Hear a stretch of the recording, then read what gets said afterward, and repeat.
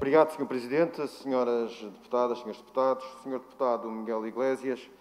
A sua intervenção, eh, em diversos pontos, eh, chamou-me a atenção eh, a questão relacionada com o turismo. Disse muito bem e focou a importância do peso económico, seja na riqueza que gera, seja no emprego que cria, do sector do turismo e dos seus efeitos multiplicadores na nossa economia.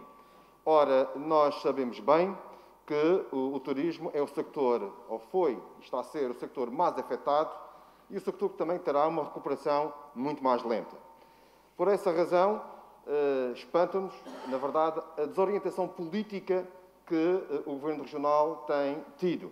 Digo isto porque parece-nos a nós que há diversas vozes e diversas eh, posições políticas contraditórias dentro do próprio Governo Regional. Ora, estamos a iniciar a retoma económica, aquilo que precisamos é de uma liderança e de um rumo certo, definindo bem quais são as orientações políticas.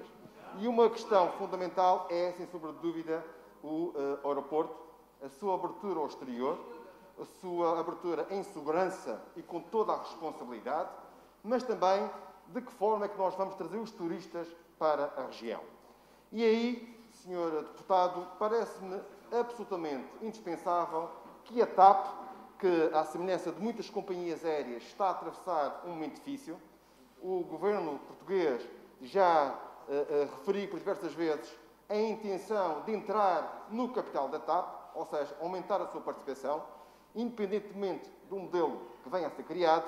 A verdade é que nós precisamos da TAP, a Madeira precisa da TAP e uh, aqui parece-me imprescindível que, além da questão da mobilidade e de assegurar a continuidade territorial, a TAP possa servir o turismo.